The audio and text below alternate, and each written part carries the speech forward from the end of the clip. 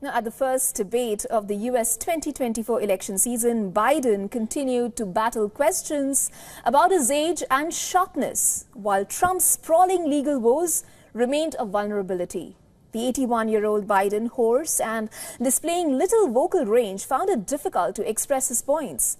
When asked a question about the national debt, the president lost his train of thought and froze as his time to answer the question ran out. Now, as he tried to make a point about Medicare and tax reform, Biden, in a gaffe, said that they finally beat Medicare. And Trump did not fail to take advantage of the slip up.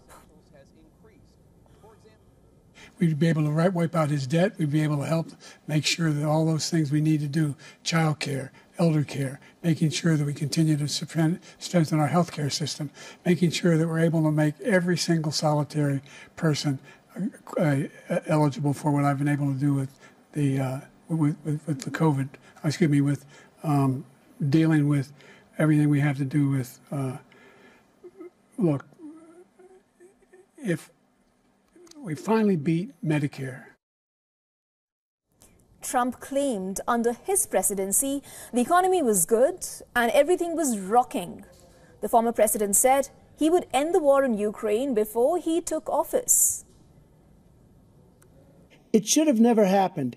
I will have that war settled between Putin and Zelensky as president elect before I take office on January 20th. I'll have that war settled.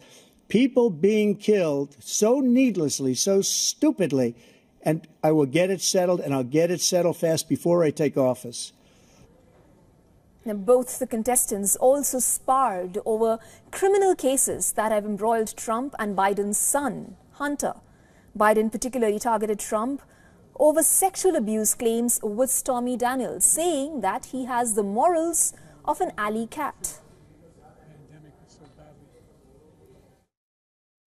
The crimes that you are still charged with, and think of all the civil penalties you have. How many billions of dollars do you owe in civil penalties for for molesting a woman in public, for doing a whole range of things, of having sex with a porn star, on the night uh, while your wife was pregnant. I mean, what, what, what are you talking about? You, you have the morals of an alley cat. Give you a minute, sir. I didn't have sex with a porn star.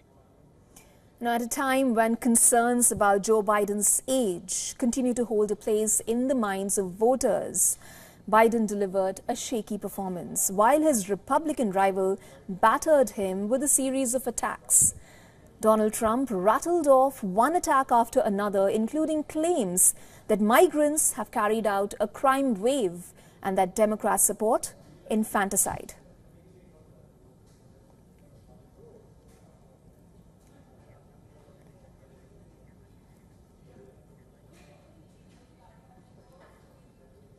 Our correspondent Susan Tehrani now joins us live from the United States. Susan, first up, very simply, how is the country reacting to the debate?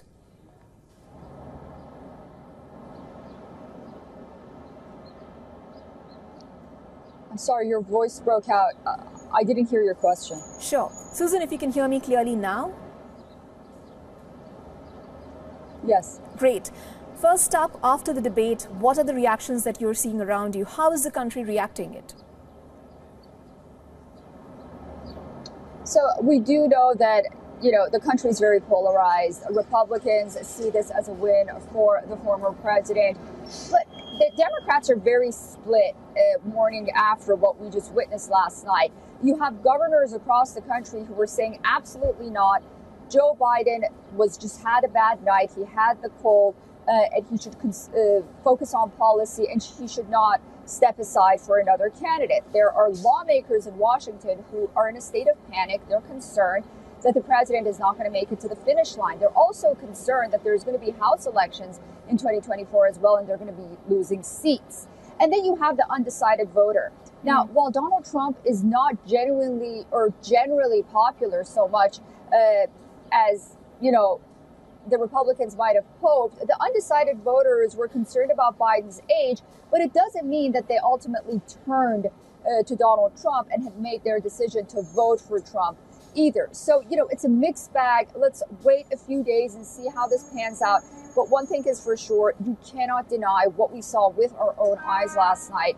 policy aside, all of uh, the things that perhaps President Biden has done aside, that performance was concerning nonetheless. And I think America sees that. And remember, this performance comes just a few days after the White House was defending President Biden, saying that the videos that we see online of him sort of wandering around are quote unquote cheap fakes. Okay, taking off from that, Susan, uh, would you say that this has perhaps worked against the Democrats with uh, Biden's incoherence heightening fears of his age? Yeah, absolutely. I think what was also very interesting to see is that so many, notably in the media, have decided to come out and acknowledge the fact that, you know, the president may be just too old to lead. And why did it take a debate like this uh, for them to acknowledge that? I mean, we've all been watching it for the past few months, if not years.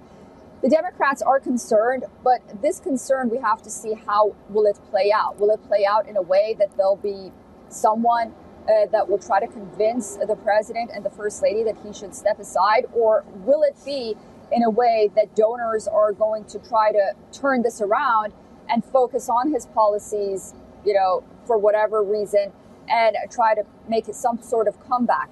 Another possibility is President Biden finishes, uh, crosses the finish line, possibly winning the elections in 2024, governs for a few months, and then hands it to Kamala Harris. So, you know, there are a lot of ways you can look at this, but it was a very, very bad night for Democrats, especially because they made so much publicity about how much the president was preparing behind closed doors for this debate. Thank you, Susan Tehrani, for joining us with those details.